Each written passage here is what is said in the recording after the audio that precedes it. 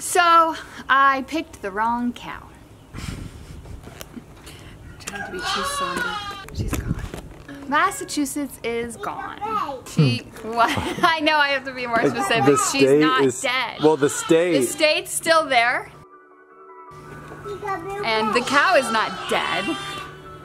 But the cow who came here, who was called Massachusetts, is not with us any longer. Physically here at our farm. So this is Massachusetts. Our new Guernsey girl. We're so excited she's here. Let's see how she does with the milk.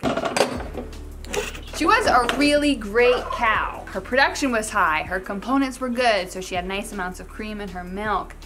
She was a really well trained show cow. Put a halter on her, she would lead great. Really nice genetics. So for us, picking her initially, it seemed like she was the perfect cow for our farm. What are you doing? She wasn't the right cow for us. Uh, ugh, I don't know. This whole thing's been ongoing for the past few months. and We're finally catching up with our videos, so we'll explain to you why. Let's go back a few months. My lovely, my lovely wife It was a cold winter's day in April. and your lovely wife was looking into getting a new cow breed. Well, that would have been like February. You were, February? yeah, and you were totally supportive of it. I was. Sometimes you should tell me no, but you don't. you're, you, you're very supportive of new things I want to try. And although we have the mini jerseys for milk cows, although we already have the mini jerseys for milk cows, you were totally willing to let me try a new breed of cow. Yeah. And what I wanted was more production. I wanted to milk one cow and get a lot of milk. I wanted to feed pigs with it. I wanted to make cheese. I wanted to have cream for butter. So I started looking at different cow breeds, kind of trying to see what we had in our area, what would be available for us to buy as a milk cow. And we found a great Guernsey farm and brought home our first Guernsey from them. She did kick, as you saw in this video. Is that good? Yeah, that video starred me milking her, getting kicked, because I was the only one who was milking Massachusetts. Make sure to put your husband's head closer to the Put your cow. husband in an unsafe situation. But not and you. Make sure he has a life insurance policy. Oh yeah. For the first, actually like month she was here, I was doing all the milking. We got the cow can kick bar, which contained the kicking, and that's when it was time for Kay to milk the cow she wanted to get. right?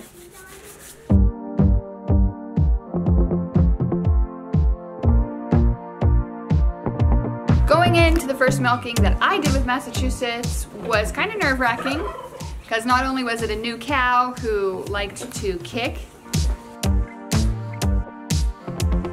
not only was she so big compared to all the other cows I've been milking for the past two years, but I had a new milker to work with that I kind of had to finagle a bit differently than any other milker, milker I've used before. I've never successfully used this. I've never used this claw. This is a new one for me. So I'm gonna try to do what Austin does. Have you ever milked her? No. New cow, new claw. Here I am in our kitchen, like practicing with my claw. You know how to use it now. I do.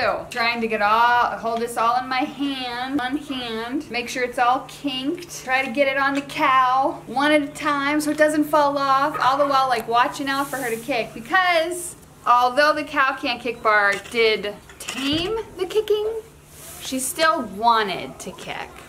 So we had it on her right side. She couldn't kick with that right foot, but she could still kick with the left one. And the way her udder was kind of tucked under those back legs, you really had to put your whole body in between her two back legs or access it from the back. So it was kind of a tricky, tricky situation, which meant I was very nervous leading up to it.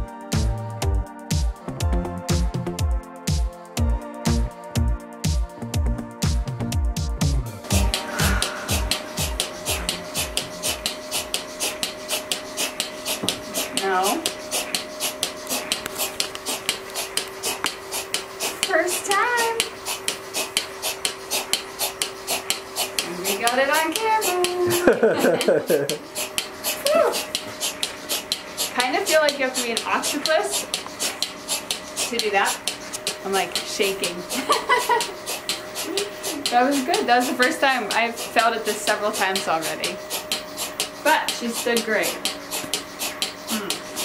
The kickstop was kind of like a muzzle for Massachusetts. It was something that we needed to use to get a process done. So you take, if you take your dog to the vet and hates getting its nails trimmed, you can put a muzzle on it. But you don't want to have to muzzle your dog every time you take it outside. We didn't want to have to use the kick kickstop every time. We want them to be trained to stand nicely to be milked. It is a fantastic tool to have. I will always keep this in my milking room because you're always training somebody. I'll be training first-time fresheners or cows who are newly in milk who've got all those hormones raging. Honestly, I will be using that kickstop Oh yeah. Sadly, when I am retraining Grasshopper, she's out with the beef cows right now and she thinks she is a wild Highland beef cow. She doesn't want to be anywhere near me and I know she's going to kick me like day one. So yeah, we'll be using that. I was confident that we could train the kicking out of her. A lot of people will have cows show up and just in the adjustment period for a month or two or three, the cow's kicking. Uh, it not necessarily something that's going to go on forever.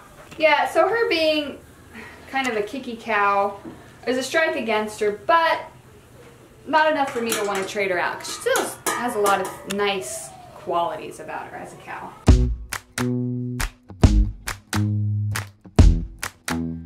But then there was strike two.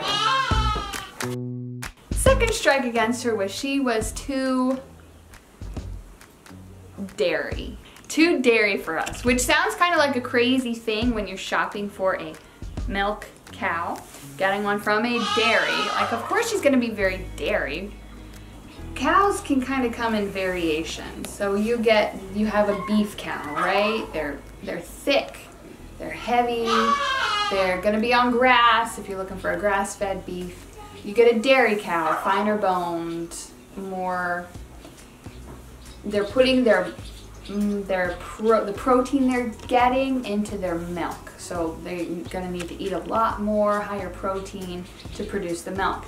Massachusetts was very dairy. She was a big cow who produced a lot of milk.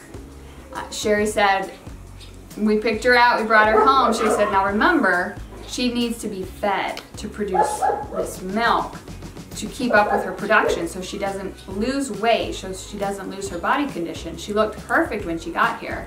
She said it's gonna feel like she's eating you out of house and home compared to these mini jerseys that you've been feeding.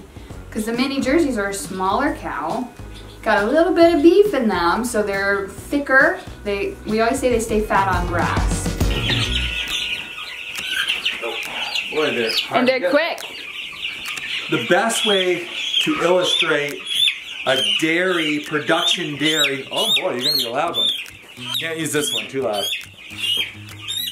Oh no. There you go. The best way to illustrate a production dairy versus like a homestead, dual purpose, milk cow, meat cow kind of thing, mini Jersey. Uh, these two chicks are the same age. This is a Cornish cross that has been bred to be a huge producer of meat Look at how much bigger it is than this dual purpose yeah, hold egg side layer. By side. Like that? No. Whoa, oh, gotcha. gross. So gross. Poo all over my... Chicken poo's the worst. You, you get crap. That's the way it is. Welcome to the farm. You can see this Cornish cross is so much bigger, so much faster, but that doesn't come off the same feed, that doesn't come from the same care. A Cornish cross has to be babied, perfect temperatures, perfect surroundings, and high protein feed, lots of it in the right digestible form. Whereas this little dual purpose bird, he doesn't need a 22% protein feed in the beginning like the Cornish cross does. If you don't feed the Cornish cross right, it, it could get sick, weak, it could die. Whereas this guy, he's a lot more hardy, easier to grow, So there's a trade-off. It's genetics. The Cornish the Cornish cross is a production chicken. Massachusetts was a production dairy cow. She required a lot of input to get a lot of output. But that doesn't mean all Guernseys are going to be similar in the sense that every Guernsey or every dairy cow is going to be a high production, high lots in, lots out kind of cow. You know, with great production comes great responsibility. Who- What voice is that? Uncle Ben. Oh, is that Uncle Ben? It was Uncle Ben. I actually didn't remember who said that. I mean, it was. Uncle Ben's not like. No. He's just an old guy. I sound old and wise, don't I? No. Yeah, add that funny bit there somewhere. If you're looking for a family cow, it can be a good idea to go to a local dairy and ask for one of their lower producing cows.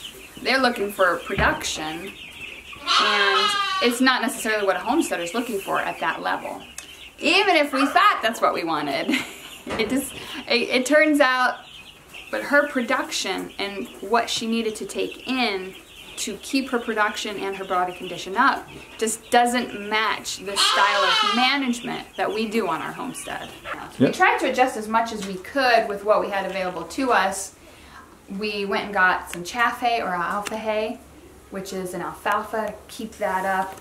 Maybe she was missing home or missing the food they fed her there, but the adjustment was not easy for her. Our goal is to be as grass fed with our cows as we can be. And we could tell it was going to be hard to do that with Massachusetts. So when I say that was strike two against her, what a perfect thing for a dairy. Massachusetts is great for the dairy, not so great for our homestead. Well, that was strike two against Massachusetts.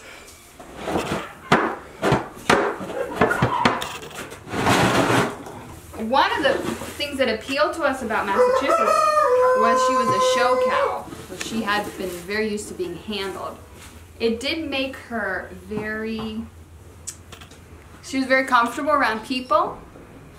For me, and in our setup, almost too comfortable. So she was kind of pushy. She's a big cow. Definitely her personality wasn't anything I had been used to and was just another kind of a downside for her on our farm. How do you say that without sounding like I don't expect her to be like a child to me or a best friend? Personality. Strike three. Personality. Yeah, but what does that mean? Um. We Okay. have two dogs. Uh, well, I was gonna go to chickens. Like chickens don't gonna diss the chicken people here. Chickens, I mean, they have personality and like, look at that crazy chicken. But like, I don't know. Maybe a chicken person's gonna comment. A chicken person is definitely gonna because comment I feel below. like every animal has a personality, right? Some are just sure, more, chicken people.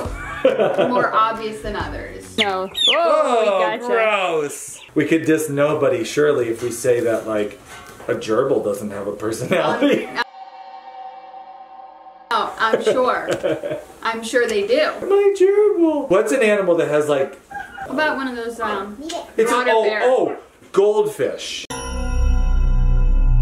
Goldfish. Oh, Don't even start with your goldfish having a personality. You're gonna get Okay. no, it's not gonna work. The point is there's a spectrum of personality, right? So to say that a cow has a personality, it's it's not like your kid has a personality. there you go. But also, like, there's the goldfish has some personality, chicken has a little bit more. Dogs have a lot of personality. Cats, I mean, there's a reason why you like cat videos are so popular. Everything is proceeding as I have foreseen. So with cows, there is a whole range of personalities. Our cows, our herd.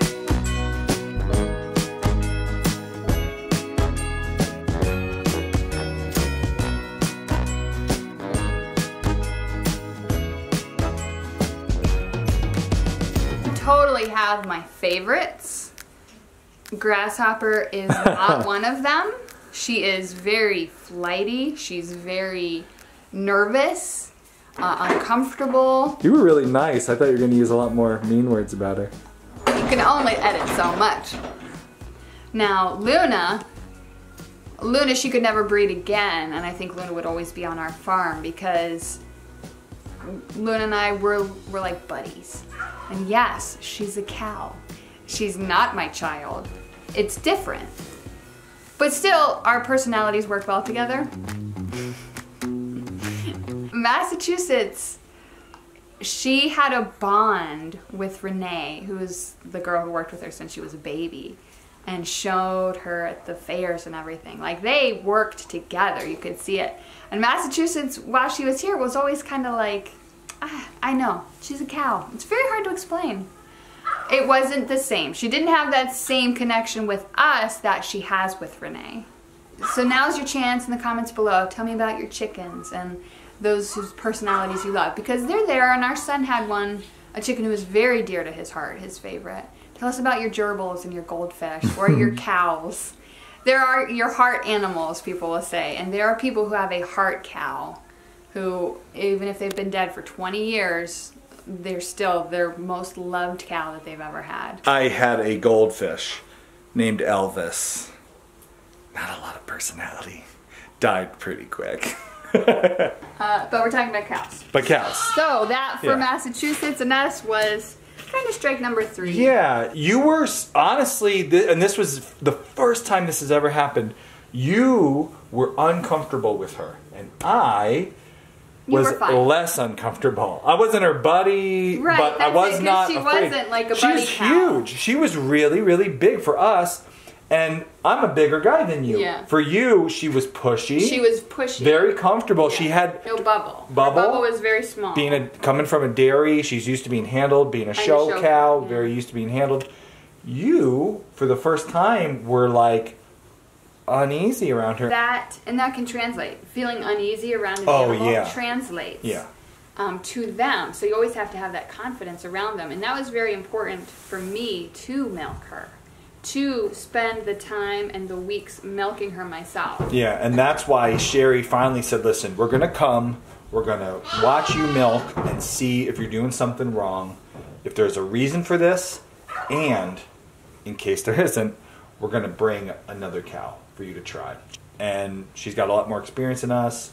We really respect her opinion. We were like, "Okay, we'll do it. Let's try it, Sherry." So she did. Yeah. So I got pictures. This is like so much fun.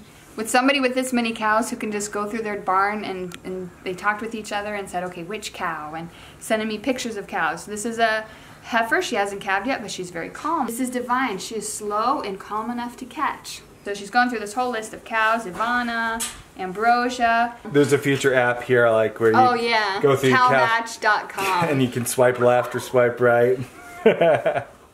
I would love it. I'd be on there all the time. Yeah, no, don't make that because I will be poor. And then there was Fancy, smaller cow, less production. And I gave her a couple of cows. I said, okay, these two. There was Ambrosia, there was Fancy. Less milk quality, higher components, and a smaller size is a plus for our setup too. Hmm. Sherry said, okay. And then they came down to help us figure out what was going on with Massachusetts and to give us another cow to try to milk. Okay, cow number two is on the way. So we've been milking Massachusetts for just about the past almost month, I think. And now we're gonna try milking Fancy today, and we'll see how we like her. I like Chewy. She's a beautiful cow, and she is easy to work with when you put the cow can't kick cow kick stop on her. Yeah, we've really come a long way with her. Massachusetts has adjusted really quickly to our milking setup. Yeah. So I'm hoping if Fancy stays that she will adjust quickly as well. Yeah, we're not sure what we're gonna do. We're gonna try Fancy on for size, and Sherry and Dan Ely have been extremely generous with their time and their cows. And for us. Renee. And Renee as well, yeah. her daughter, That's- who we bought. That's Massachusetts mama. Yeah, so if you are looking for a family milk cow, and you're interested in a higher producing Guernsey, we can put you in touch with them. All right, they're coming up the driveway.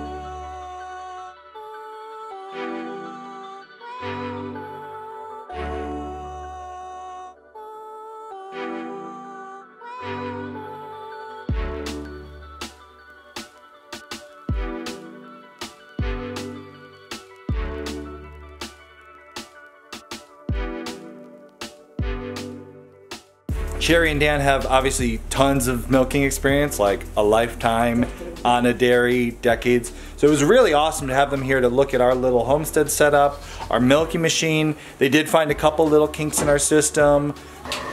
So like this,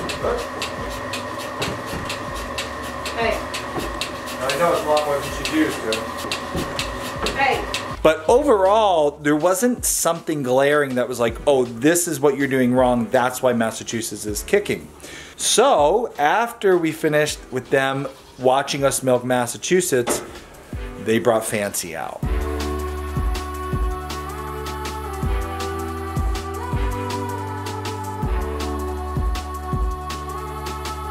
We brought her in and we milked her, and she did great.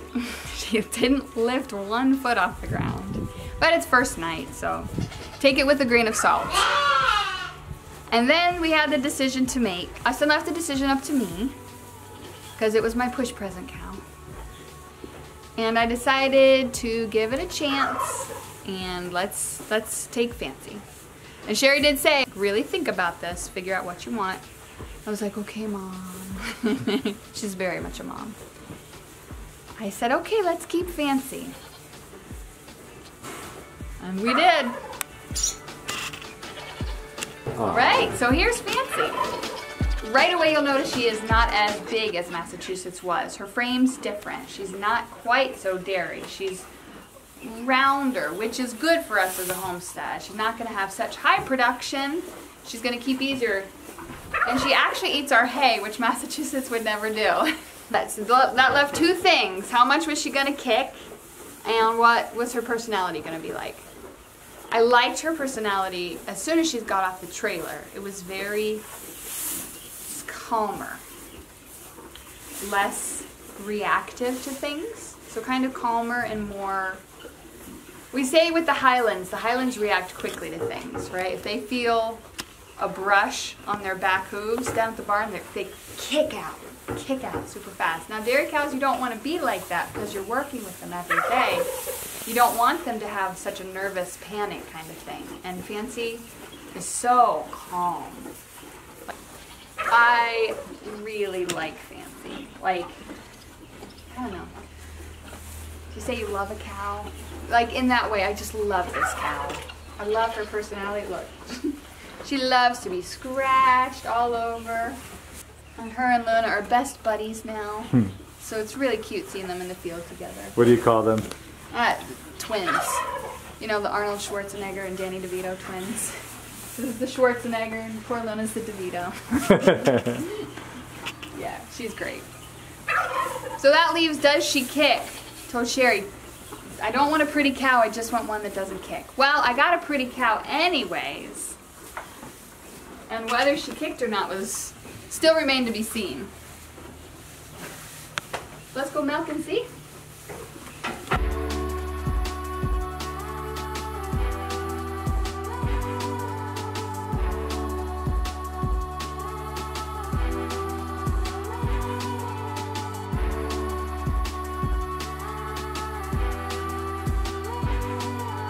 Look at this gorgeous udder. Beautiful udder. Now I know how to use this. Twice a day for the last, what is it, three months?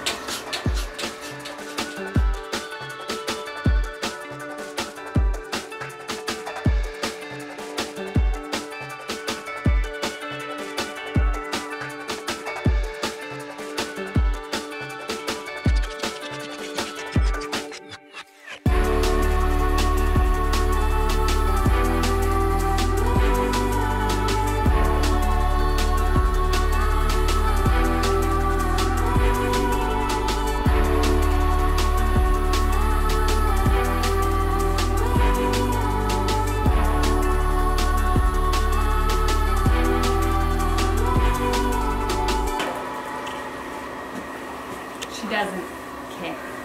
She doesn't lift a foot when the milker's going on, when we're teat dipping, when we're post dipping, when the milker's coming off. She doesn't When the milker accidentally ever. fell off. When it accidentally falls off because the hose comes off the milker. She doesn't kick. I love this cow. And that is not too much to ask when you are dedicating so much time to a family milk cow or any animal on your homestead. I, I want to enjoy working with them if I'm doing it twice a day. I, when I was trying to decide like what was going on with her Massachusetts, how to get her to stop kicking on the family cow forum, one person's advice really stuck with me when they said life's too short to deal with a kicking cow.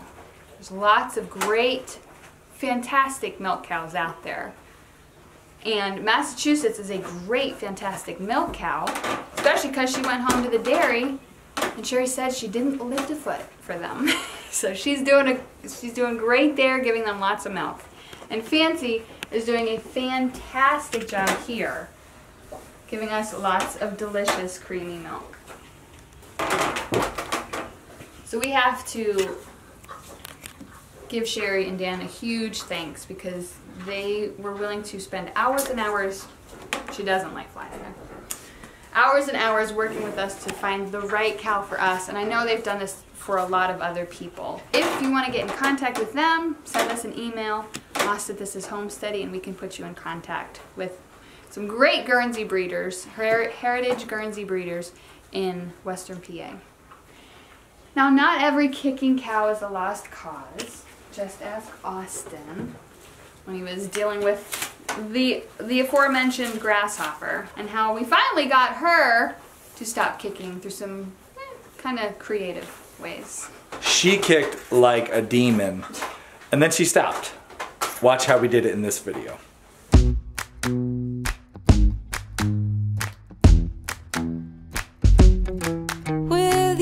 The sun is shining 24 7.